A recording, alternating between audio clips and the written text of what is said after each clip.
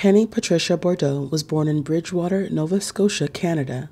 She met a man by the name of Paul Boudreau, and the two married. They had their first and only child together in 1996, a girl named Karissa. Penny and Paul's relationship was rocky, and Penny was unfaithful. Fast forward to the year 2008, Karissa was now 12 years old, and Penny was having an affair and started a relationship with a man by the name of Vernon McCumber. The two seemingly had a great relationship, but the only thing in the way for their relationship to reach a different level was Karissa. Vernon did not get along with Penny's daughter Karissa, and the two often argued. One day, Vernon had enough, and he gave Penny an ultimatum. He said to Penny, It's either her or me. Penny decided to choose a man over her own flesh and blood and began to hatch up a plan to rid her daughter from their lives for good. She did not want her affair to end, so she chose to do whatever it took to make Vernon happy. On January 27, 2008, Penny drove Karissa to a wooded area in the outskirts of Bridgewater.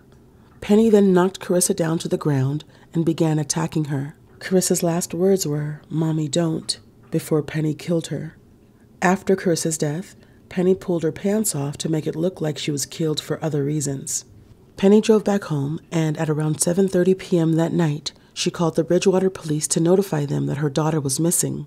When officers arrived to her house, she told them that she and Karissa went to the Bridgewater Mall and she let Karissa stay inside of the car while she went inside of the store to shop. She said that she wanted to give Karissa some time to cool off because they had an argument. After returning to the car when her shopping was done, she noticed Karissa was not in the car. With that information, Penny's family and the police began a search for Karissa and an investigation began. Just two days after the death of Karissa, Penny went on live television pleading for her daughter to come home. She made everyone believe Karissa ran away from home because of, in her words, arguments of typical teenage things that weren't significant. On February 1st, Penny went on live local television yet again and was quoted saying, It's hard not to know where your kid is. Reporters asked police questions, and they informed reporters that they had no evidence to prove the pair was actually at the mall the day Karissa went missing. On February 9th, Karissa's body was discovered by a passerby on the bank of the LaHave River below Highway 331 at 11:30 in the morning. Police brought two residents who lived near Karissa in for questioning, but they would not release the names of those two residents. On February 14th, the Bridgewater police went on the local news to host a press conference, letting everyone know that it was confirmed that the body found did indeed belong to Karissa. They also said, For us to do a proper job, we're going to take the time we need to take. A funeral was held at Karissa's father's house. Her father Paul lived with his parents in Shelburne County, and there were hundreds of people who showed up to pay their respects. Penny and her boyfriend Vernon attended the funeral together. Karissa was buried at the cemetery in Clarks Harbor on February 19th. On the 23rd, the community dubbed Karissa as Bridgewater's daughter, and nine churches held memorial services for her. The police were still conducting an investigation, and their eyes shifted towards Penny. An undercover officer posing as a gangster met up with Penny and offered to dispose of any evidence that would get her in trouble. Penny took the bait, and finally, after four months of investigation, police arrested Penny on June 13th and charged her with first degree murder. Investigators feel confident that there was only one person responsible for this homicide. We do not expect anyone else to be charged in this case. Penny was taken to the Bridgewater courthouse to be arraigned on June 16th. On October 22nd, Penny's lawyers waived Penny's rights to a preliminary hearing, and her case was then moved to the Supreme Court. On January 30th, 2009, Penny pled guilty to second degree murder and was sentenced to life in prison with no chance of parole for 20 years. In the end, she admitted that Karissa was just in the way of her relationship. Penny Boudreau pleaded guilty to second degree murder today, admitting she killed her 12 year old daughter Karissa because the child was in the way of her relationship with her boyfriend.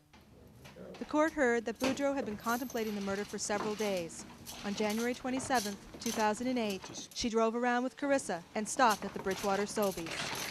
She was she was uh, alive and, and well when she was at the uh, the parking lot at Sobeys and when uh, Miss Boudreau made the call to Mr. McCumber and reported her missing.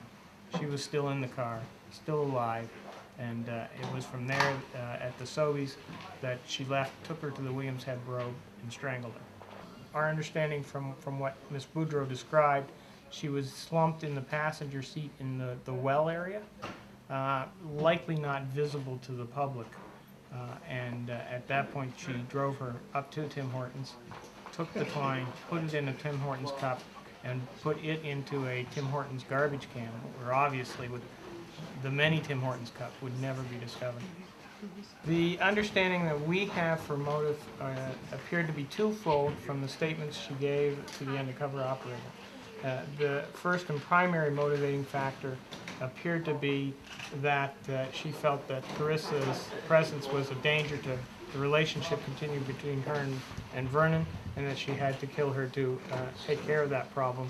And secondly, uh, there was discussion by her about uh, this 12-year-old talking badly about her to friends and to people in the community, and she didn't want that to happen, uh, particularly uh, at this stage.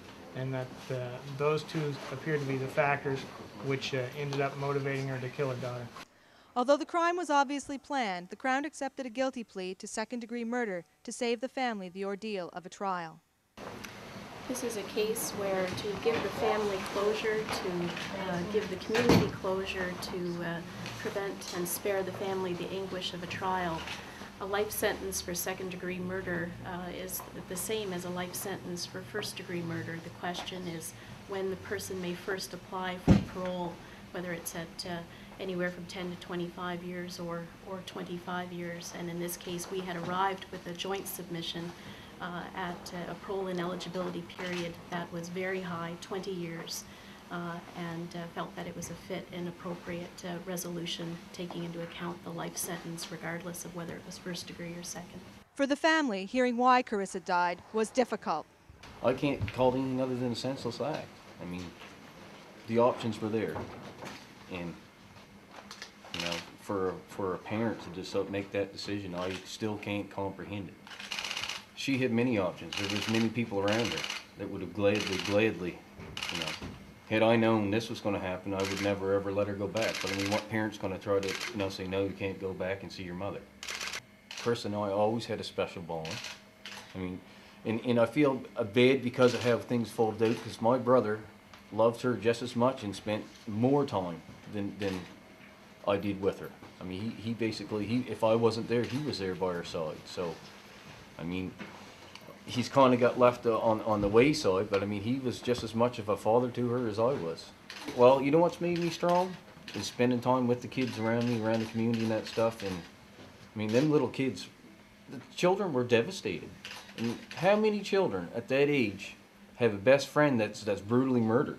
You know, you hear your friend's name across the TV, you know, every day, constantly when it all first happened about about a, your best friend or somebody you knew. There's, children do not go through that very often, and from my working with the children and that stuff and talking to them, you know, that that that helped me through it. John Collier said he knows the case has been difficult for all involved, including investigators. We're, we're human beings too.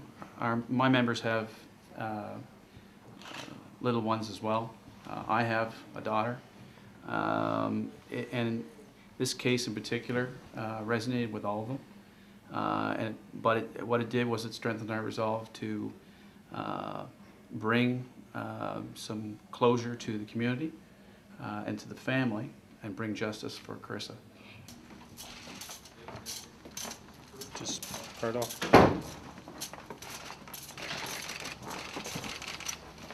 Thank you all for watching another episode of Wicked Women. Let me know what you guys think in the comments below.